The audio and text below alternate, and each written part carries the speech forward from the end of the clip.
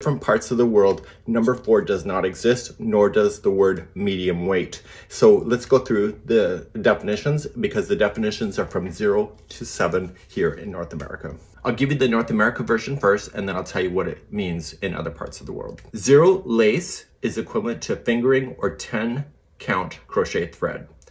Number one is superfine, equivalent to sock, fingering, or baby. Number two is fine, considered sport baby. Number three is light, considering as double knit or light worsted. Number four is medium, considered worsted, Afghan, or Aran yarn. Number five is bulky, considered chunky, craft, or rug.